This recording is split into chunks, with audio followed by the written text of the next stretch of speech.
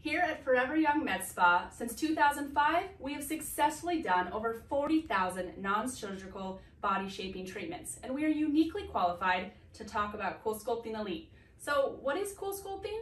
Cool Sculpting is the world's number one non-invasive fat reduction treatment. It gets consistent and predictable results for our client.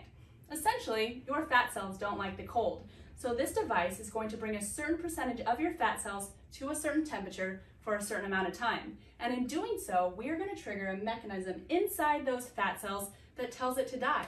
Those fat cells will die over the course of a few days and then flush out of your body over the course of one to four months. The great news is once those fat cells are gone, they're gone for good. So why would you age less when you can look and stay forever young?